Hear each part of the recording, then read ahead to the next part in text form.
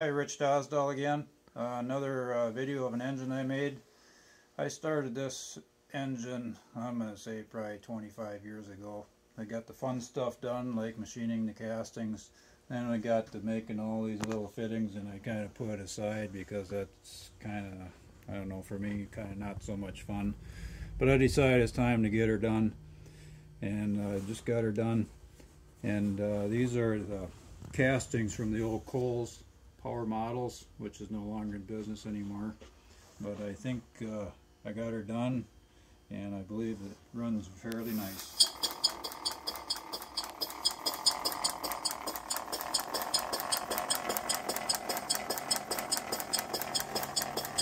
It's a full functioning governor. Um, if you look right, watch that plate right there. When I speed it up, you'll see that that plate will move back and forth, which means the governor is working. It's closing the inlet valves as the governor moves in and out. So there it is.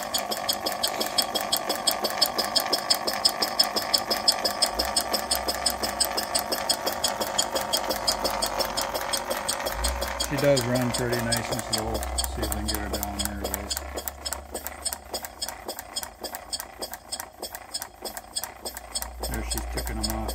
pretty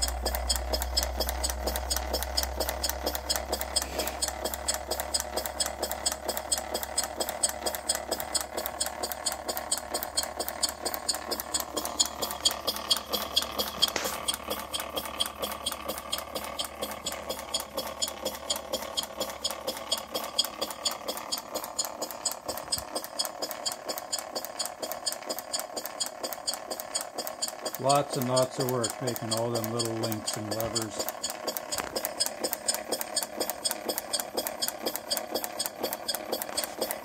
This valve right here alone, I got about a month's worth of work in just making that valve.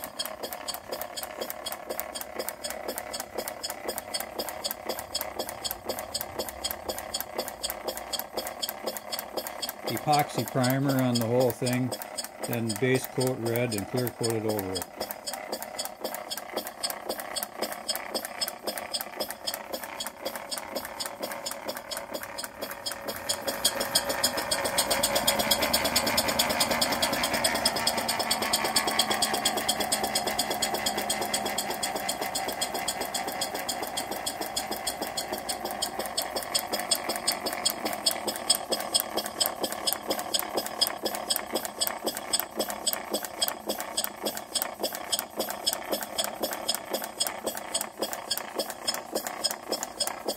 So there she is, and uh, I guess I'll make something else to take another video of sometime.